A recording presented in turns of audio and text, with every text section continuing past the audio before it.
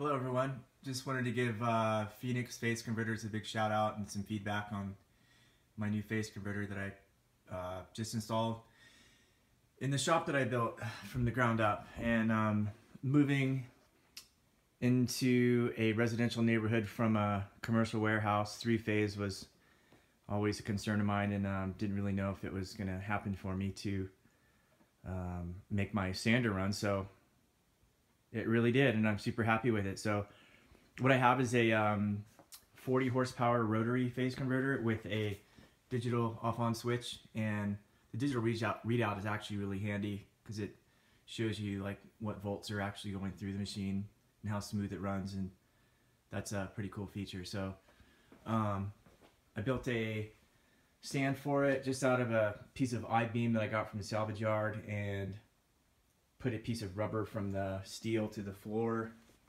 in between the steel and the floor there and also some rubber between the machine and the steel there and it's um, pretty much vibration free and man the thing runs really smoothly and it's very very quiet and I'm really happy with it and um, did as short as run as possible over to my machine here.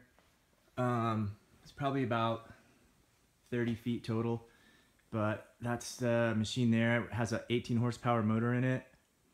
And, you know, that being said, guys at Phoenix said I need to double my motor size, so that's what I did.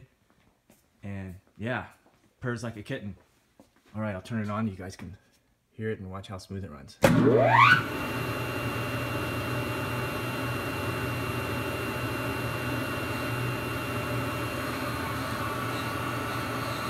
You can uh, really get gist on how quiet it is, but man, once it comes up, it just purrs and it's just steady all the way across the boards.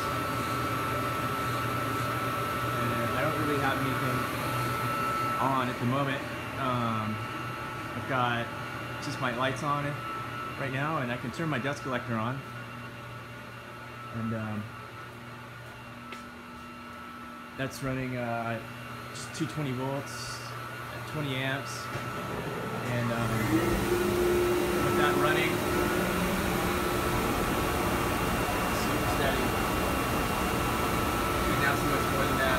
So again, really happy and thank you to Phase Converters for supplying me with this product, man. I'm really stoked.